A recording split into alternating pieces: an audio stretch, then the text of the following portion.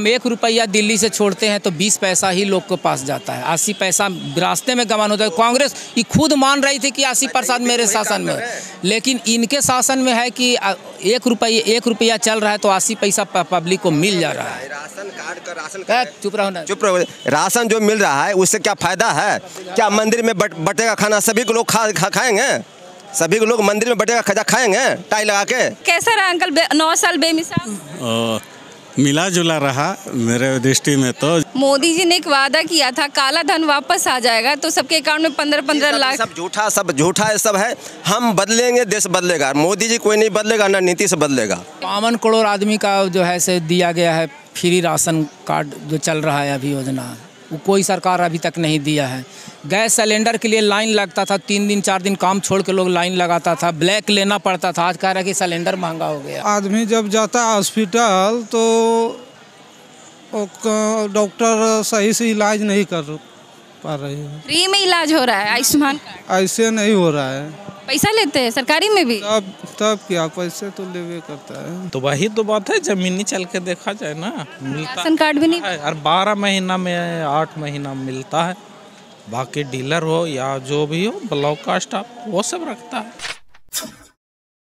नमस्कार मैं अनुराधा कुमारी आप देख रहे हैं द एक्टिविस्ट। इस समय हम हम मौजूद हैं पटना जंक्शन पे और प्रधानमंत्री नरेंद्र मोदी की केंद्र सरकार में रहते हुए नौ साल पूरे हो गए हैं और बीजेपी ने इस पे एक नारा दिया है नौ साल बेमिसाल। इस पर हम यहाँ मौजूद लोगों से बातचीत करेंगे कि वो क्या सोचते हैं, नौ साल बेमिसाल रहा या उनका ज़मीनी स्तर पे जो वो नारा है वो फेल हो गया। इस बारे में हम बात करेंगे, यहाँ मौजूद लोगों से और जानने की कोशिश करेंगे कि उनके लिए ये नौ साल बेमिसाल रहा कि नहीं। आपका नाम सुदामा मंडल। सरकार है नौ साल उनको पूरे हो गए हैं। तो नारा दिया जा रहा है कि नौ साल बेमिसाल। तो आप क्या सोचते हैं इस पर सही नारा है नौ साल बेमिसाल। सही नारा है बहुत अच्छा काम किया उन्होंने। क्या बताइए उनके जो उन्होंने काम किया? अब जैसे श्रीनगर में 370 हटाया उन्होंने और कई से हैं जैसे आपके वो हैं अयोध्या में राम मंदिर का निर्माण किया उन्होंने। बहुत ही अच्छा रहा उनका बीजेपी का। श्री नरेंद्र मोदी हमारे पीएम बहुत अच्छा काम रहा उनका। सराहनीय है। तो उनके जो कार्य है राम मंदिर बना और तीन सौ सत्तर हट हाँ तो इस पे जो नॉर्मल जनता है उनको कुछ लाभ मिला कि नहीं? लाभ तो मिला है बिना लाभ का थोड़ी है लाभ मिला है नॉर्मल जनता को मिला है लाभ। ये क्या मिला? अब तीन सौ सत्तर हटा तो वहाँ पे जो एक वो था क्या कहते हैं ये बना हुआ तीन सौ सत्तर में तो सबको लाभ हुआ है कि आज़ादी टाइप का पहले गुलामी टाइप का था एक आज़ाद हुआ है। उनका झंडा अलग था जम्मू कश्मीर अलग था अलग था झंडा। वहाँ पे कोई ज़मीन नहीं खरीद सकता। कोई जन जमीनी का अलग नियम कानून था उनका। अभी अभी जो भारत का संविधान है वो लागू हुआ उनके साथ। सब मतलब जो भी है बहुत ही अच्छा हुआ है बीजेपी की सरकार में।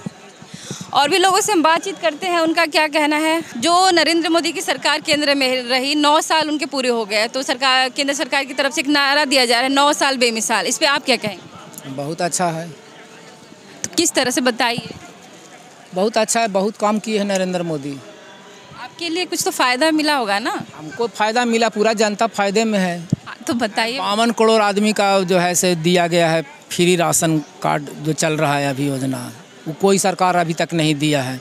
गैस सिलेंडर के लिए लाइन लगता था तीन दिन चार दिन काम छोड़ के लोग लाइन लगाता था ब्लैक लेना पड़ता था आज कह रहा है कि सिलेंडर महँगा हो गया। अच्छा कर रहा है तो अच्छा किया। तो अच्छा कर रहा है। तो जो गैस सिलेंडर दिया गया कहा जाता है कि अच्छा दाम तो महँगा है गरीबों के पास वो जा रहा है तो उसका कोई इस्तेमाल नहीं हो रहा सिलेंडर जस के तस किसी कोने में पड़ा हुआ मिल रहा है। तो कहीं कहीं कहीं पर लकड़ी जलते हुए देख रहे हैं आखिर तो खाना तो उसी से बन रहा है। हम तो पटना में चारों ओर घूम रहे झोपड़ उज्ज्वला योजना के तहत जो गैस सिलेंडर दिया गया था उसका इस्तेमाल लोगों को नहीं महँगा भी पड़ रहा है और जो मिला है उसको इस्तेमाल भी वो नहीं कर पा रहे। कहा जा रहा है ये मेरा नहीं ऐसा हाँ मैं ऐसा सुनने में आ रहा है जानकारी में कि जो उनको सिलेंडर मिल रहा है वो किसी किसी कोने में जो सरकार हाँ फेंका हुआ मिल रहा है। देखिए राजीव गांधी बोले थे खुद बोले थे अपने मुँह से कि हम एक रुपया दिल्ली से छोड़ते हैं तो बीस पैसा ही लोग के पास जाता है। अस्सी पैसा रास्ते में गवान होता है। कांग्रेस ये खुद मान रही थी कि अस्सी परसेंट मेरे शासन में लेकिन इनके शासन में है कि एक रुपये एक रुपया चल रहा है तो अस्सी पैसा पब्लिक को मिल जा रहा है। राशन कार्ड का राशन चुप रहो ना। चुप रहो। राशन जो मिल रहा है उससे क्या फ़ायदा है? क्या मंदिर में बट, बटेगा खाना सभी को लोग खा, खा खाएँगे? सभी को लोग मंदिर में का खजा खाएँगे टाई लगा के? अरे वो तो वो पाप है। आप कमाने का रास्ता दीजिए रोज़गार खुलवाइए। कैसा रहा आपकी नज़र में नौ साल बेमिसाल? नौ साल वो नहीं किए इसको चलाने के लिए सब हम लोग अपना रास्ता दिखाए वो तो सिर्फ़ अपना जगह पर काम करते रहे। अरे जो भी आएगा अपना काम करेगा। हमारा समय बदलता है अपना समय के साथ बदल रहे हैं हम लोग। मोदी जी ने एक वादा किया था काला धन वापस आ जाएगा तो सबके अकाउंट में पंद्रह पंद्रह लाख। सब झूठा सब झूठा ये सब है। हम बदलेंगे देश बदलेगा। मोदी जी कोई नहीं बदलेगा ना नीति से बदलेगा। हम बदलेंगे देश बदलेगा। हम ठीक हैं। राशन कार्ड फ्री देने से हम सुधर नहीं। हमको रोज़गार चाहिए। राशन कार्ड राशन हमको खिला रहा है साल भर पहले। हम तो कोढ़ी हो गए। आप पर आपका आश्रित हो गए हम। आपका गुलाम हो गए। स्वास्थ्य योजना के लिए भी आयुष्मान कार्ड वितरण किया ये सब ये सब भी जो है, सब भ्रष्ट है। आप हमको रोज़गार चाहिए राशन का, स्वास्थ्य कार्ड हो या उजाला हो, ये सब बकवास है। हमको सिर्फ़ रोज़गार चाहिए, रोज़गार मिलेगा तो सब अपने आप रास्ता मिल जाएगा। पैसे नहीं है तो आप फ्री में कितना इलाज कीजिएगा?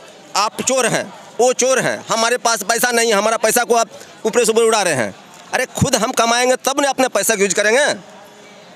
आपके पैसा आप अपना खाता में रख ले हम हमारे पास है ये नहीं था हम कैसे उसे यूज़ करें तो क्या चाहते हैं कि अगले साल किसकी सरकार साल सरकार तो यहाँ मेजोरिटी जिसकी बनती है वो सरकार हमको नहीं बनाने से वो अपने आप बन जाएगा। वो उसका जो यहाँ बोल वाला है उससे बनता है। सरकारी हम हमसे नहीं बनता ना आपसे बनेगा ना किसी से बनेगा। ये सब बिकता है दुनिया में सारी चीज़ बिकता है। और भी लोगों से जानने का प्रयास करेंगे?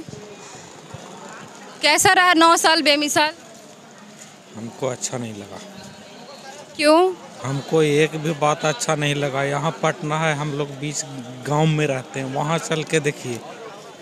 जैसे अभी थोड़ा देर पहले गैस की चर्चा कर रहे थे ना मान के चलिए कि 300 घर है मोदी जी कह रहे हैं कि जो हमारा नौ साल रहा केंद्र सरकार में प्रधानमंत्री बने हुए काफ़ी अच्छा रहा। हमारा जो देश है विकास की ओर बढ़ रहा है और हमने बिहार के लिए भी काफ़ी अच्छा काम किया है। तो इस पर क्या है विचार? हम तो सब बात एक बात बोले रहे हैं हमको अच्छा नहीं लगा कुछ भी अच्छा नहीं लगा।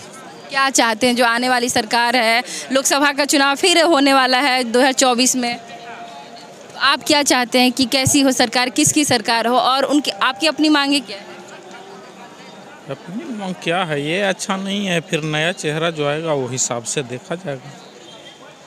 तो केंद्र सरकार तो कहती है कि आयुष्मान कार्ड का किए हैं, पंद्रह जो बहुत सारे हॉस्पिटल्स, एम्स, अस्पताल बनवाए देखिए, होता है वहाँ से ना ज़मीनी हालत में देखा जाए, हम लोग बीच गाँव कहाँ है? जो कहता है प्योर देहात वहाँ कहाँ है? वहाँ चल के देखे कोई तब तो। यहाँ पर देखने से क्या है? यहाँ तो मान के चलिए कि 500 आदमी हैं, बात का मतलब। तो बेहतर आदमी है। तो हम लोग के पास चल के देखिए ना। हम समझते हैं कि ये 300 आदमी का मेरा गाँव है। पच्चीस कौन सा गाँव है? इस्लामपुर तरफ़। हम समझते हैं कि 25 आदमी का आज भी बढ़िया से खाना नहीं बनता। और वहाँ की क्यों वहाँ पे अन्न नहीं मिल रहा है? अनाज नहीं दिया जा रहा है सरकार की तरफ़ से? फ्री में जो दिया जाता है। फिर में- तो वही तो बात है ज़मीन जमीनी चल के देखा जाए ना। मिलता राशन कार्ड भी नहीं? है और बारह महीना में आठ महीना मिलता है। बाकी डीलर हो या जो भी हो ब्लॉक का स्टाफ वो सब रखता है। कोई अस्पताल? अस्पताल हम लोग का इस्लामपुर है लोकल और कोई नहीं है। और भी लोगों से बात करने का प्रयास करेंगे कि नौ साल बेमिसाल जो सरकार का नारा है वो जमीनी स्तर पर कैसा है? नौ साल बेमिसाल जो सरकार दे रही है दावा नौ साल कैसा रहा है आपके लिए? अभी तो नहीं गड़बड़ देख- देखा है क्या गड़बड़ है?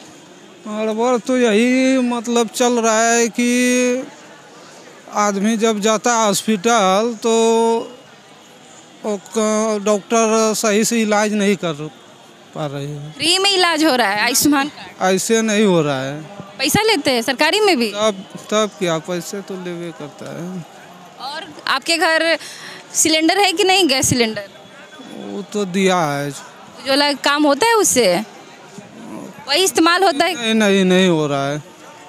फिर क्या होता? है बहुत गरीब के घर में इस्तेमाल नहीं हो रहा है। और जो अन्न मिलता है सरकार की तरफ़ से अनाज जो वितरित किया जाता है वो?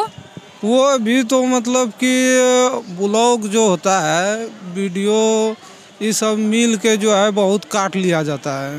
आपको फ़ायदा नहीं मिल रहा है?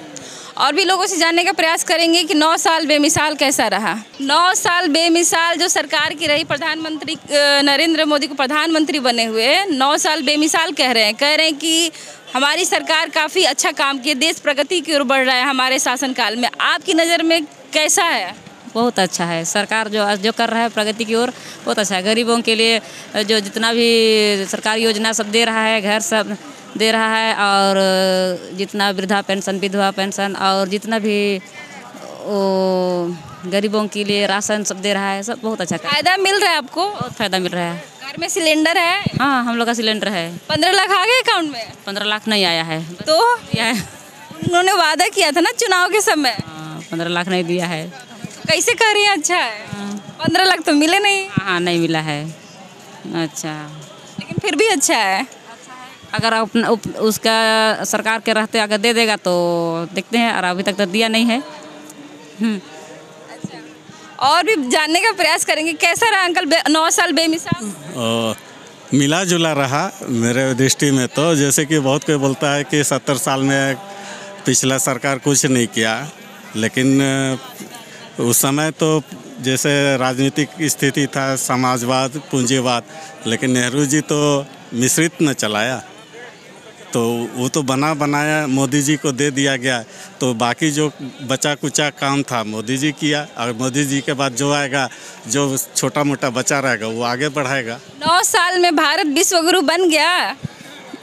विश्व गुरु पूरी तरह से तो नहीं बना है मेरी नज़र में तो। कहे कि जो भी घर बनाते हैं तो पहले न्यू तैयार होता है न्यू के बाद ही बिल्डिंग बनता है। अगर न्यू सही नहीं रहा तो बिल्डिंग कहाँ से तैयार होगा? तो न्यू तो तैयार शुरू से हो गया था विश्व गुरु बनने का। मोदी जी उसको आगे बढ़ा दिया है। अभी भी अभी विपक्षी पार्टियाँ में नीतीश कुमार जी प्रधानमंत्री बनने की चाह रख रहे हैं तो क्या कहना चाहेंगे? अभी सबका जैसे हर एक पार्टी सब तो अपना अपना चाहेगा कि हमारा सत्ता आए। इसलिए तो वो तो अपना विचार अपना प्रकट करेगा मोदी जी अपना प्रकट करेगा लेकिन जो जनता चाहेगा वही देगा। यहाँ मौजूद थे पटना जंक्शन पे। लोगों की राय ले रहे थे कि उनके लिए नौ साल बेमिसाल कैसा रहा? ज़मीनी स्तर पे जो सरकार वादा कर रही है नौ साल बेमिसाल होने का, ज़मीनी स्तर पे उसका क्या परिणाम है? यहाँ आपको दोनों तरह से सकारात्मक और नकारात्मक दोनों तरह से आपको सुनने को मिला। आपकी क्या राय है? इस पर आप अपनी राय को कमेंट बॉक्स में लिखिए। फेसबुक पेज पे नए हैं तो हमारे पेज को लाइक और शेयर कीजिए। वहीं आप यूट्यूब चैनल पर नए हैं तो हमारे चैनल को सब्सक्राइब कीजिए।